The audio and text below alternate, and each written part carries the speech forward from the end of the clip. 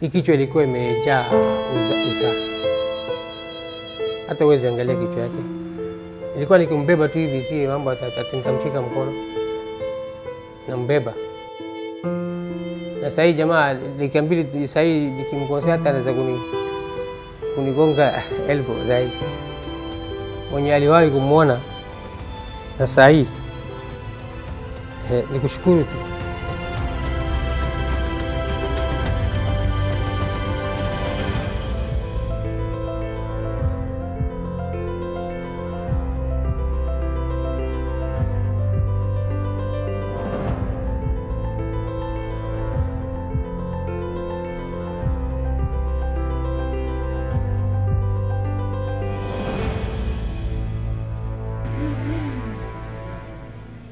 Oh, mimi kwa jina naitwa Ismail Gobo Bule, baba Keharu.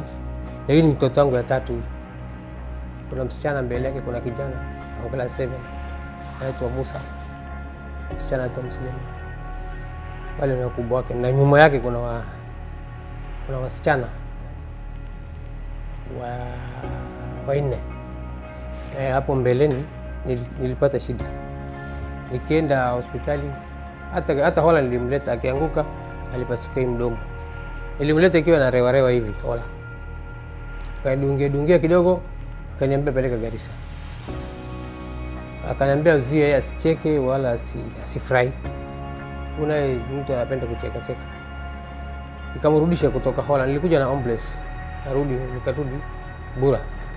Kurudi Bura jioni tu kufikisha nyumbani hivi, wale asubuhi walimwona, wamekuja kumwangalia majirani. Dakika mbili hivi kijana ashacheka na ashakata ile waya. Ikabidi sasa nipeleke Garissa kesho yake tena. Kuja akaniambia historia, oh, nipeleke Kenyatta nini? Nikamwambia mkate asoi itakuja kumea tu nyama. Mkate ile upande na rewa rewa kabisa. Ipone hivyo. Sasa ile shida alinipatia. Na hii ugonjwa yote unaona hii kusio kusumbuka yote ilikuwa inaletwa na hii kifafa tu.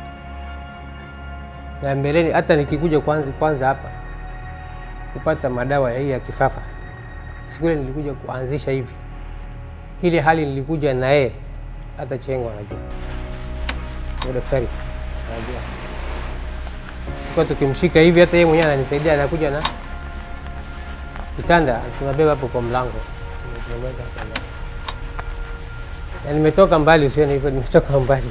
Na yule mwenye alimwona na akawatumania mnisaidie, namshukuru sana, sababu nilikuwa nimekaa tu, hakuna vile nitafanya mtoto. Mi naweza pakuliwa chakula, sasa unaangalia huku, huyu hatawezi kula,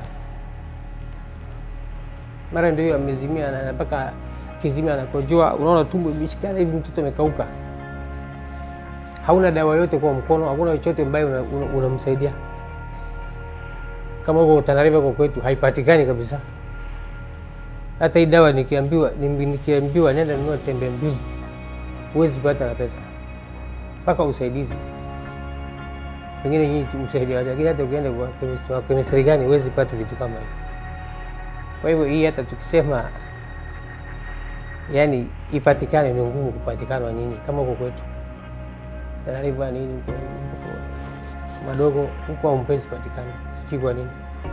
Nataka hata siku moja mtutembelea Tanzania, hata kama ni hema mtuwekee huko, hata kama kwa mwezi mtakuja mara moja Tanariva, hata kama ni Hola tu mkikuja, si tutaitana, tutaitana, tutakuja Hola, tutawaona. Hata hapa Tana Delta tu mkikuja, sisi tutakuja. Wale ambao kuna watu kama hawa, tunaweza fika hapo tupate usaidizi tunaomba mtutembelee huko Tanariva pia. Eh, hii kichwa ilikuwa imejaa uza, uza. Hata uwezi angalia kichwa yake.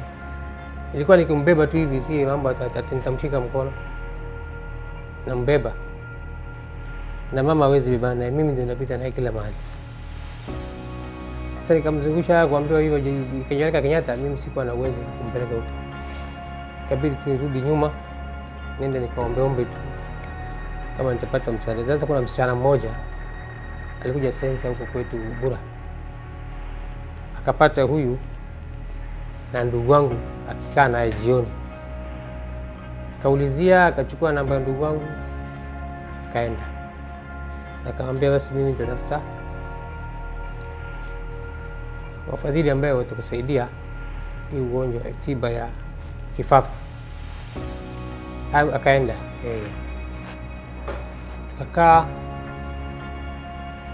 basi, kwa siku nikapata simu, yule ndugu wangu alipigiwa simu ili patikana namba yangu, nikakimbia nikakuja. Kuja nikapata namba Cecilia. Kwa sasa, tukaongea na wewe, tukaelekezwa kwa Dr. Chengo.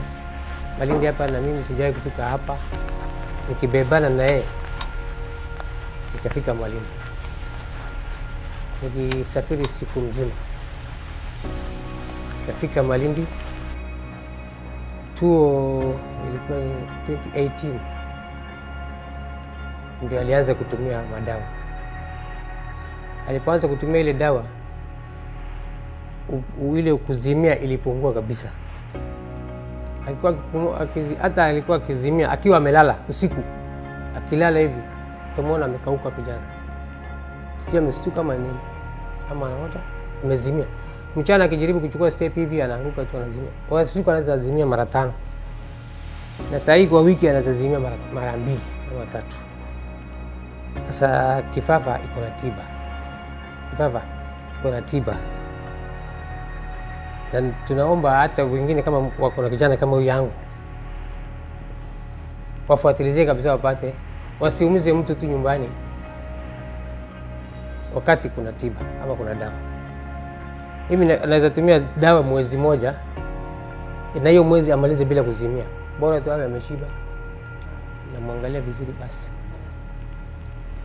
hakuna shida. Na hivi saa hii hata yeye mwenyewe ukimwongelesha, hata naweza kumwambia wewe nenda kitu, na anaweza enda chukua na aniletee saa hii.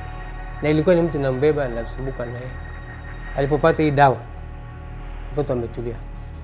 Sasa nyumbani ni kufukuzana na watoto, anawatandika.